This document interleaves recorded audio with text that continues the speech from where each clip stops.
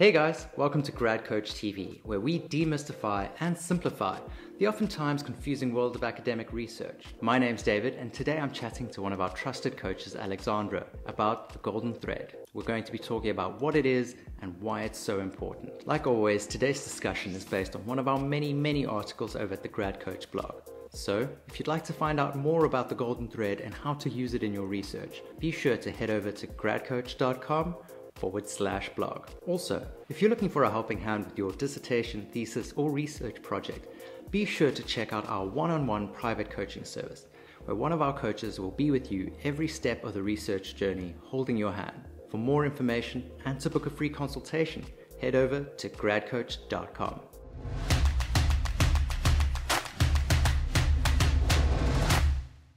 Hey, Alexandra, welcome to the Coach Cast. As always, it's super great to have you here with us tonight. Hi, David. Thanks so much for the invite. I always love coming on and chatting research with you. So, Alexandra, it's time we're doing it. We're diving into the golden thread. And in today's video, we're going to be talking about what it is, why it's important, and how to use it in your research project. Mm-hmm.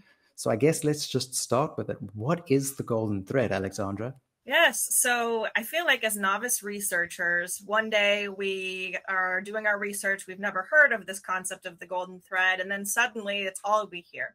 So yeah. essentially, what the golden thread is, it's composed of three elements for your research your research aim, your research objectives, and your research questions. So, why these three elements that compose your golden thread are important is that, above all, they identify the boundaries of your study. They they identify what you're working in and what you won't go outside to.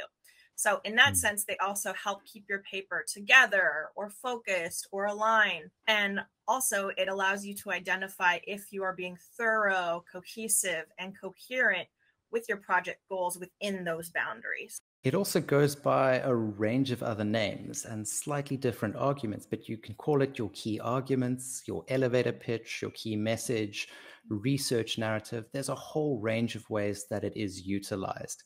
But broadly speaking, it's the same idea. It's what's driving your research.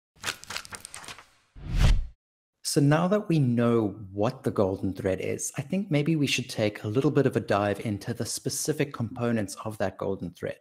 And the first one is the research aim. Alexandra, what is the research aim and how do we identify it? So, as I mentioned before, the golden thread has those three elements to it. And so, this first one, the research aim, this is the main goal or the overarching purpose mm-hmm. of your dissertation or thesis. And what makes this aim an aim is that it's a high level statement of what you're seeking to achieve. And so sometimes this high level statement we could see might look something like this research aims to, this research sought to, the aim of the study was to, the study planned to. It's kind of a formulaic statement that it that should be identifiable. And so why we need this high level statement for the aim is to assess largely if the research that you you said you set out to do the aim you set out to do is what you actually ended up doing mm-hmm. at the end of your study and so why this is helpful is that it's a good way to find out if what you've set out to do has been accomplished in the study or not, like I said. And as I kind of alluded to, what you say in the, the research aim in the introduction, you should be able to find its mirror self in the conclusion to see if that aim was achieved or not. That's really helpful. And a quick tip if you're working through a paper and want to get a high level summary of what the paper is doing, keep an eye out for that aim statement in the introduction see what it's talking about, and then pick that up again in the findings and discussion section, because there should be a statement that's very much in line with that aim statement, providing an answer. And if you take those, that's the core of what the paper set out to do. That's often enough the novel findings that they've found. So that's been really helpful to define what it is, but maybe it'll be good to just get some examples. So, Alexandra, do you have any qualitative examples of a good research aim? Absolutely. So, with qualitative, it's going to be different than quantitative, which you'll mention, but a sample study could be having the topic of employee experiences of digital transformation in retail HR. So, that's the topic. And now we want that high level statement, our research aim. So maybe that's something like this research aims mm. to explore employee experiences of digital transformation in retail HR. And so, kind of the key words here are that this study aims to explore, okay, kind of one of those common qualitative aim verbs. Um, experiences is pretty typical as an aim in qualitative. And so, with that high level statement, we're able to see what this research study is set out to do so that later on we have to make sure that we've followed up on that. And as the reader, you should be able to identify if they did what they set out to do. That's a really great example. And if I were to think up a quantitative example right now, let's say you're doing a study on graduate engineering students and their well being, and you're interested to see whether student support or self care are factors playing a role in that well being. You might use an aim statement like this study set out to assess the interaction between student self care and support services on well being in engineering graduate students. What we've got there is all of the key variables of interest the well being, self care, and student support. We also are introducing the idea of an introduction and prediction. And so we've got all those key ideas. You know, it's quantitative when they're talking about connections between variables and predictions and relationships, correlations. So keep an eye out for those kind of words as well when trying to identify the type of research you're doing. So now that we've covered what a research aim is, let's move on to the next aspect of that golden thread, which is the research objective. Alexandra, what is the objective and why do we need it? Yes, so typically your research aims and your research objectives are similar, but mm. the difference is is that as opposed to research aims, the research objectives are a bit more practically oriented, whereas the mm. research aim was a high level statement. So these objectives, they're looking at specific things that you'll be doing to achieve that aim that we previously stated. Mm. So, to do so, they break down the research aims into more specific, actionable tasks.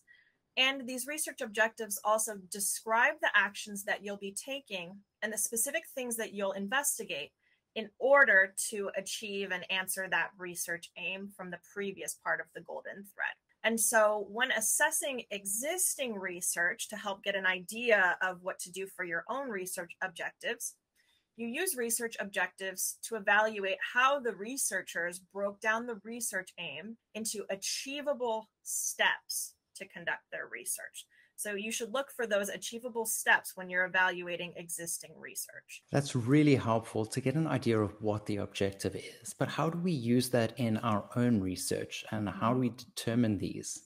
So, like a lot in research, researchers and educators have developed some kind of helpful tips and tricks for different parts. So for the research objectives, there's a nice acronym you can use called SMART. So what this is essentially saying is that starting with your research aim, like I mentioned, you need to break it down into actionable tasks that are your objectives. But how do you do that? If you follow this SMART acronym, your objectives need to be specific, measurable, achievable, relevant, and timely. So, as you are looking at your research aim and determining how to break down um, your research objectives from that into those steps, keep in mind that your research objectives need to be smart. That's so helpful. And it's really a good way to think about taking that somewhat high level complex statement, breaking it down into the steps you're going to need to do to answer that aim. I think right now it'd be really great to, again, go back to those aims we had earlier and do that breakdown right here and right now. Okay, so if we go back to our qualitative example about employee experiences and digital transformation in HR, we had our aim in the previous step, and now we want to break that down into actionable tasks to make our research objectives.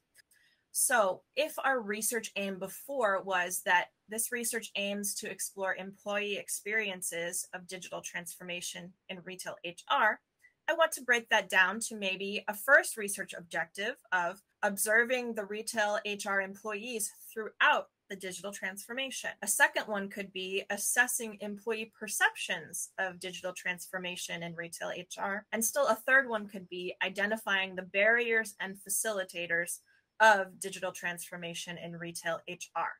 And so, what you may have noticed with these three examples is that they all kind of start with an action verb observe, assess, identify, and this is very common for research objectives because, as we mentioned, your objectives should be actionable, putting your aim into action that you can actually address in your study. That's a really great coverage of the qualitative side of things. Quantitative side of things is not much different. We're going to be taking that aim that we have. In this case, it was this study set out to assess the interaction between student self support, student self care, on well-being in engineering graduate students. We're now going to break that up into specific objectives. And maybe the first one would be to determine whether student self-care predicts well-being scores in engineering students. Mm-hmm. Our second objective might be to determine whether student support predicts the well-being of engineering students. And our third and final objective might be to assess the interaction between student self care and student support on well-being of engineering graduate students. So what you might have noticed there is in quantitative research, often enough our objectives are very strongly associated with our variables of interest. We have three core measures that we're interested in, and we kind of have objectives that relate to each of those we also used really active words like predict, assess, determine. You'll also come across words like prediction, correlation, quantify. These are really active words that are going to engage with that variable of interest. So now that we've dealt with the research aim and the research objectives, we're really going to get into the research question portion of the golden thread. And personally, it's the part that I feel is most important. Alexandra, what are the research questions and how do we get to them? Yes, so this is the third aspect of the golden thread, as you mentioned. And so, what your research questions are, these are the specific questions that your dissertation or your thesis will seek to answer. And what's nice about the research objectives and the research questions is that the questions typically relate directly to those objectives we just talked mm. about. And these research questions also tend to act as the driving force throughout your dissertation or thesis. And so, what that means is once you've identified what your research question is, and you've mentioned that in your introduction, we should see that research question again throughout your whole project, from the literature review to the methodology and onward. And so, like our example with the research objectives, if you're feeling a little bit uncomfortable with knowing how to formulate your own research question at first, look to existing research. Um, look for their research questions. And so, like the research aim and the research objective, it's a good way to find out if you look at existing research, if what the researcher said in the introduction is what they answered in the findings and discussion and conclusion, excuse me. So, what's important about this research question is that it should be central throughout the paper from beginning to end. Can't agree more. The research questions really are that core idea that is mm-hmm. keeping everything together. And so, if we've identified it in other studies, how do we develop it based on our own research objectives? So, for your own research, you should use your research aim statement, that high level statement, to develop the questions that you need to answer that aim. Okay. So, with that said, typically your research questions must align with your research objectives, but that's not always the case. And so I know we just said do this to do that, and there's here's an exception, but let me explain why using the example we gave before. So in that qualitative example of uh, employee experiences of digital transformation in retail HR, if you'll remember, our first objective was to observe these retail HR employees throughout the digital transformation. So there's not really a research question that can come from this objective because this objective is actually um, representative of a step along the way to answering other research questions. Okay, there's not really a research question that is to answer for that objective. However, for that second objective that we had about employee perceptions, a research question could answer this objective. And it might sound something like How do employees perceive digital transformation in retail HR? And then that third objective of the barriers and facilitators, what a research question might look like for this is what are the barriers and the facilitators of digital transformation in retail HR? That's really helpful. And that idea of an objective sometimes not translating mm-hmm. to a research question does also come up in the quantitative research, particularly if your research objectives are about collecting data or mm-hmm. determining something, right? Mm-hmm. But in our example that we suggested, there were pretty good linkages between the objectives to potential questions. So, for our first research objective, an associated research question might be something along the lines of Does student self care predict the well being score of engineering graduate students? Again, we're asking a question that's very similar to what we phrased in terms of the research objective, but we're looking at that question. Similarly, for research question two, you might say Does student support predict the well-being score of engineering students. Again, the exact same pattern. And for the last research objectives, here we might have a slightly different wording, but again, it's taking that objective and moving it across. So, mm-hmm. do student self care and student support interact mm-hmm. when predicting well being in engineering graduate students?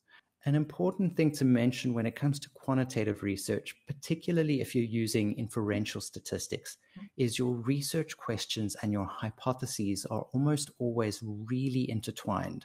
Your hypotheses are statements that are answers to your research questions. But they're not just statements that come from nowhere. You're basing that statement or that prediction based on what you've seen in the literature. So, mm-hmm. just to take one of those examples, if we're talking about student self care predicting well being, you mm-hmm. might have a hypothesis of student self care positively predicts well being scores of engineering graduate students. We've got an expectation, we've got a direction, and we've got the variables of interest. And then we would do an associated test to assess that. Now, that's a little bit of an aside, but it's an important thing to mention because in quantitative research, you've got to have hypotheses if you're doing inferential stats. Mm.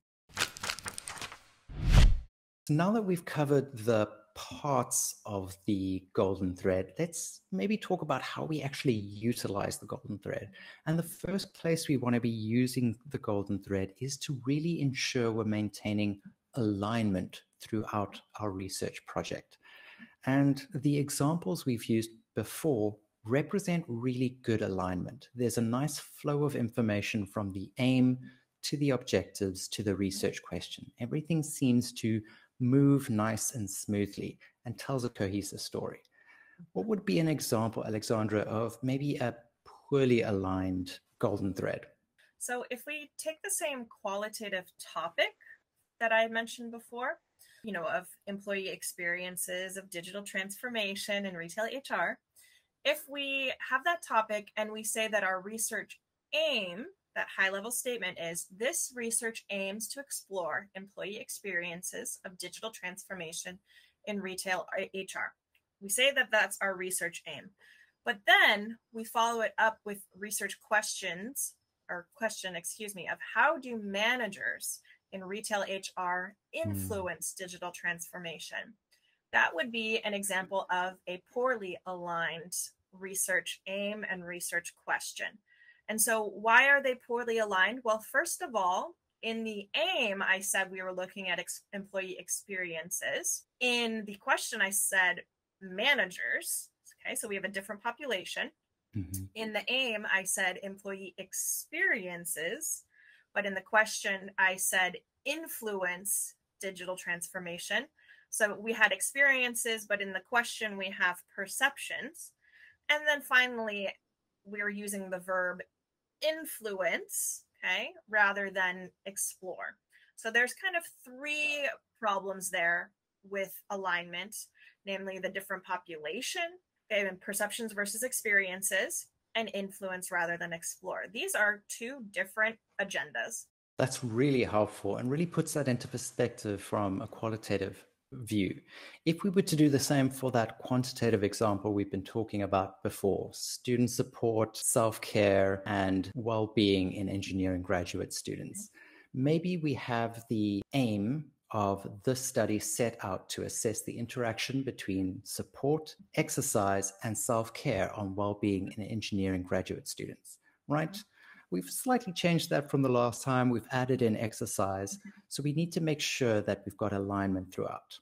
A poor alignment in research questions would be leaving out one of those key variables. Mm-hmm. So if we'd used the same research questions as before, but not included one relating to exercise's relationship to well being mm-hmm. or the interaction between exercise and the other variables, that would represent misalignment. We're almost forgetting a core aspect of our aim.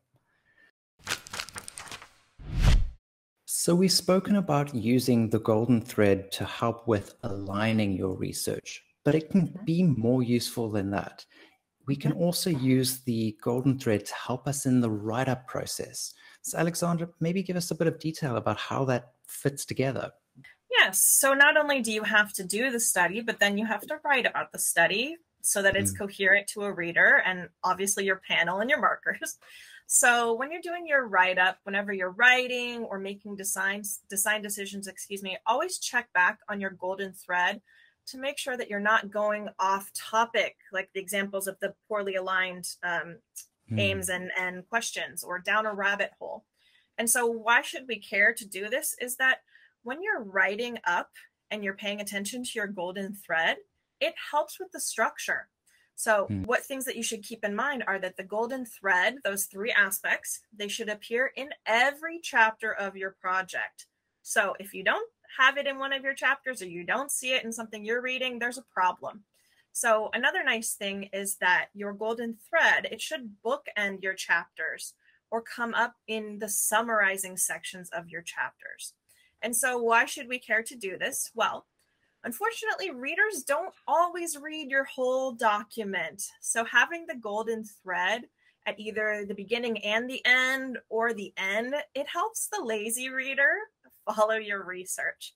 One of the other areas that happens to be really improved by having a good handle on your golden thread is when you're presenting or defending your research. Mm-hmm. If you've been keeping in mind your golden thread, been really working to incorporate it, make sure it's cohesive throughout your design, throughout your write up. By the time it gets to presenting, you're going to have all of those ideas really solid in your mind.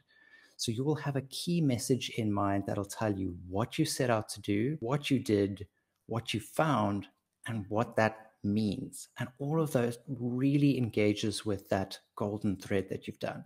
Mm-hmm. So don't deny the power of the golden thread and make sure you're engaging with it throughout your research project. It's only going to strengthen your writing and your research going yes. forward. And I think if I could add one thing to that, it'll help when you're trying to explain your research because when you get to the point where you're defending your research, you should know your study backwards and forwards mm. in a mm. way that you could explain it to an intelligent layperson.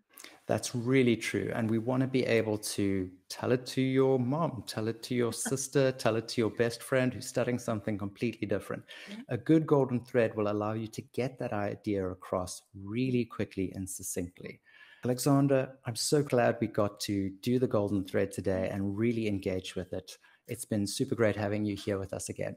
Yes, it's been so fun. It's such an important topic, and I'm glad we were able to actually do a video just about it. All right, so that pretty much wraps up this episode of Grad Coach TV. Remember, if you're looking for more information about the Golden Thread, what it is, and how to use it, be sure to head over to the blog at gradcoach.com forward slash blog. There, you can also get access to our free dissertation and thesis writing mini course which will give you all the information you need to get started on your research journey. Then don't forget, if you're looking for a helping hand with your dissertation, thesis, or research project, be sure to check out our one on one private coaching service, where you can work with one of our friendly coaches, just like Alexandra. To get all the information and to book a free consultation, head over to gradcoach.com.